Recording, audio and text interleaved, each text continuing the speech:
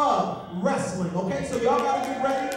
We about to go all out. All right. This is the West Coast Rumble. We about to represent the West Coast in the house. Everybody say West Coast. Come on, we about to get crazy on today. All right, I'm your boy AD. We about to get it in. We about to get lit, and we about to get amped up.